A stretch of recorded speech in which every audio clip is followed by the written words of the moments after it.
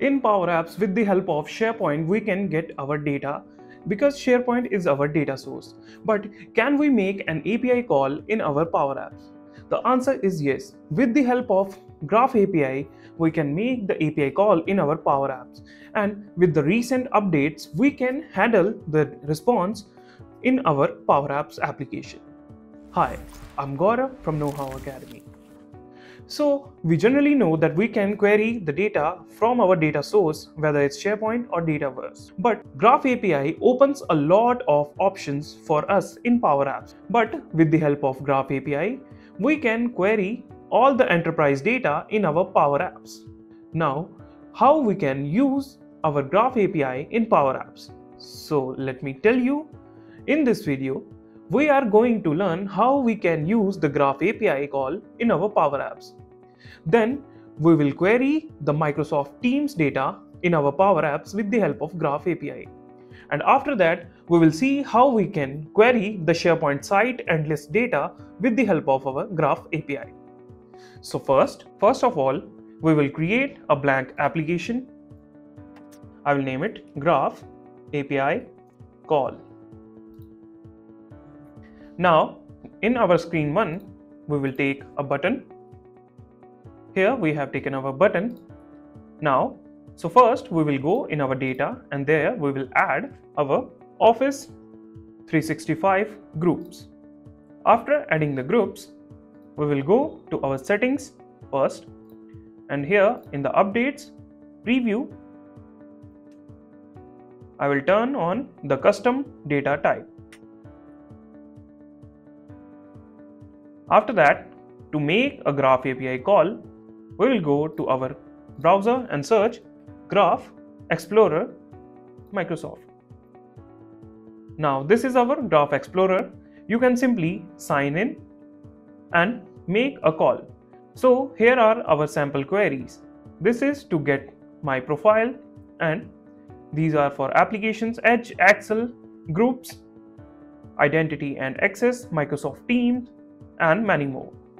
So first of all, I will take this API call, click on run query and as you can see, we have got our response OK and this is my JSON response. So how we can use this response in our Power Apps application? So we will go to our Power Apps and here on the button call, we'll write Office 365 groups dot http request then we need to add the URL.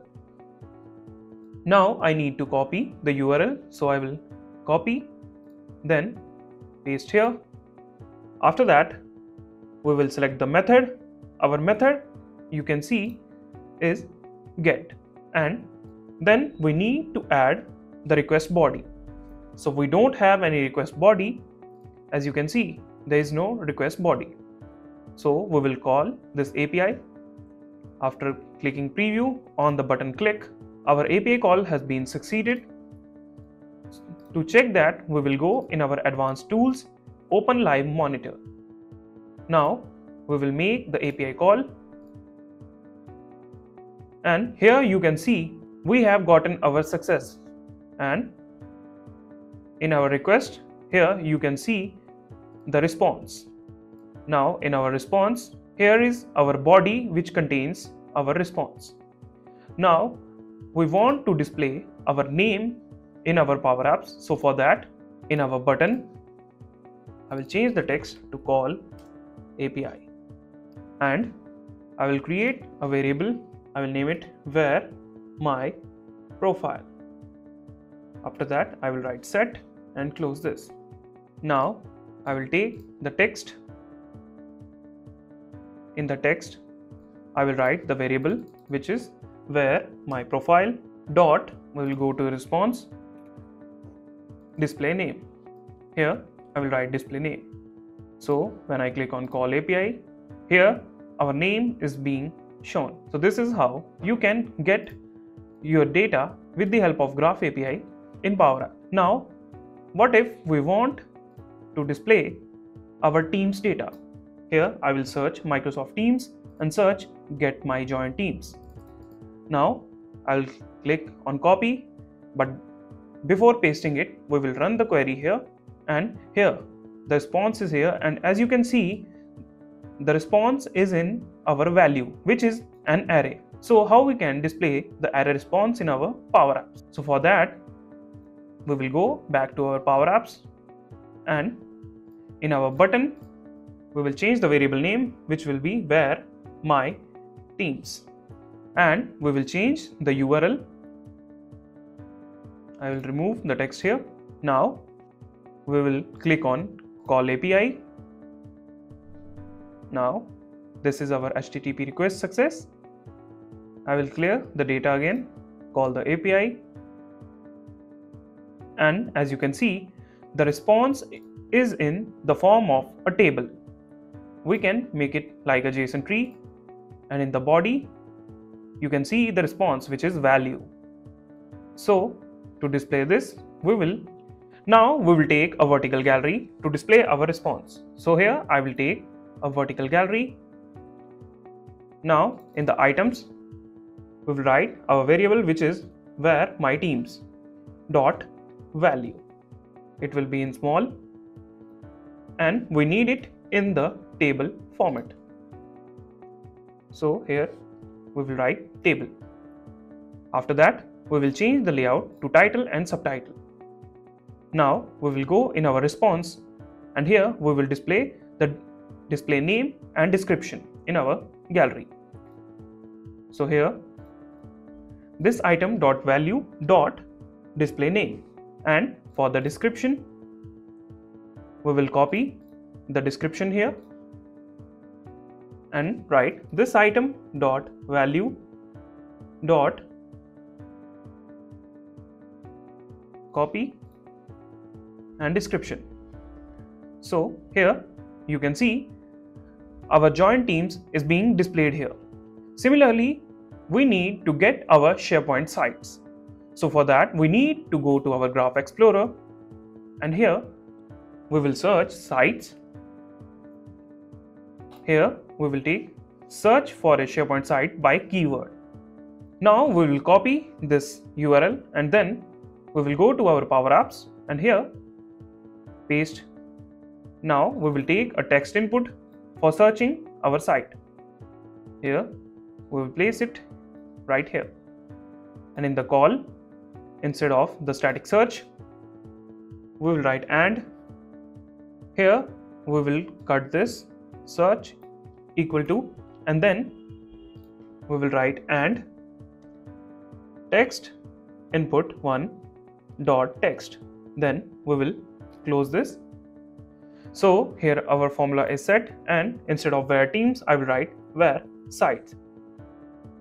Now here I will search know how and click on call API. Now in the live monitor, we will check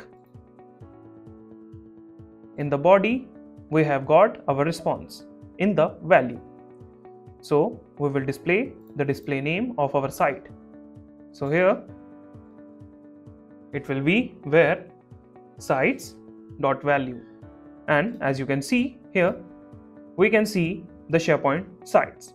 Now what if we want to see the list of our selected sites? So for that we will take our vertical gallery again. We will place it here. Now to get our list we will go here here. In the search we can search know how and we will get our sites name with know how here is our site id so we will copy this id first and then we will change our url here we will paste the site id and then list. Then we will run the query. You can see the query has ran successfully. So we will copy this URL, go in our application, here in our first gallery, on select, we will make the API call Office 365 groups dot http request. Then for the URL, we will paste the URL here then we will write the method which is get and then the double quotes for our request body. Then we will close it and we will store this in our variable which will be where list. We will close the variable. And one more thing. Here. We will remove this. We will write and. Then it will be this item dot value dot id and here it will be table my list var list dot value. Now to check that here the layout I will change the layout. This item dot value dot. So first we need our name in the value. Here I will write the name value dot name and then we will display the description same as our site. Value dot description. Now we'll select this. And as you can see here we can see our SharePoint lists. Also here instead of our arrow now here in our icon we will change the icon with our link and we will go in our monitor. We will copy the web URL and on select we will write this item dot value dot web URL. So on select we will launch this item dot web URL. After clicking preview when I click here here you can see we have been navigated to our SharePoint site so this is how you can use the Graph API call in our Power Apps. So in this video, we learned how we can use the Graph API call in our Power Apps. Then we used Graph API call to get our join teams in our Power Apps. And then we used our SharePoint list and site in our Power Apps vertical gallery with the help of our Graph API call. Thank you for choosing KnowHow Academy as your IT source. We are always there to help you navigate to the tech world. It's been a pleasure sharing this information with you. So stay curious and keep learning.